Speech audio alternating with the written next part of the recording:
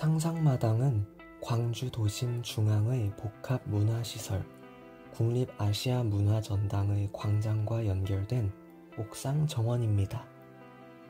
남도에서만 가능한 풍성한 식재를 감상할 수 있습니다.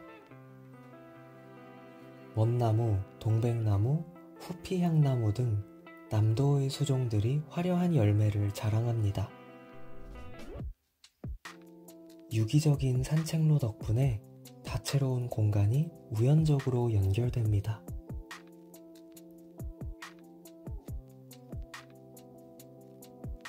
정원의 언어로 공원이 디자인되어 매우 섬세한 하부 초화를 감상할 수 있습니다. 다채로운 산책로의 페이빙을 통해 동선의 흐름과 성격을 암시합니다.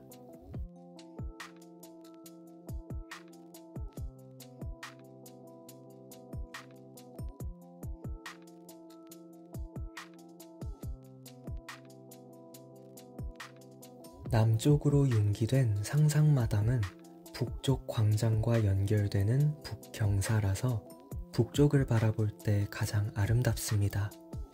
도심을 원경으로 잔디마당과 나무들이 포개어집니다. 도심의 스카이라인과 공원의 볼륨이 서로 닮아 조화를 이룹니다.